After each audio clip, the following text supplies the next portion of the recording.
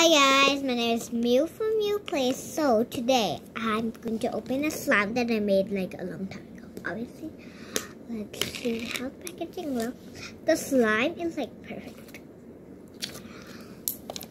Okay, stretchy, a bit rippy a bit rippy because yeah.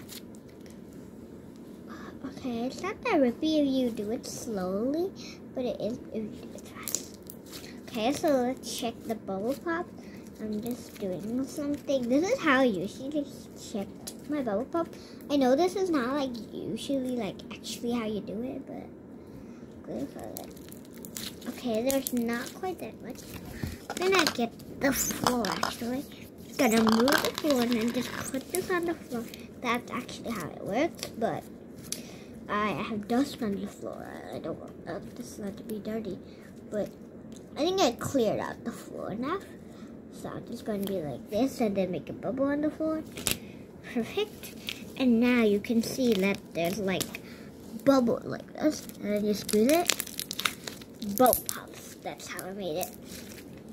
But it's not like loud. Last time, last time like, like a year ago or something, when I tried, I think I, it was like this. When I tried this, it sounds even louder than this. Listen. Look at that. Look at that. That's it's so good. I mean, it could be a bit, a lot louder than this, but this is good for a small slime. I mean, if a big slime would be like much louder, like much, much. Bruh. Okay, that's not gonna make much of a pop. Obviously. Okay, it's getting rippy now because I put it in air a bit because it was too too liquidy.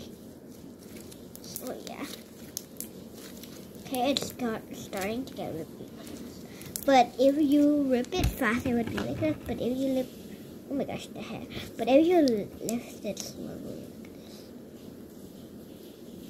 Lift it, bruh. I mean stretch it, of course, not lift it. Bye, guys. See ya.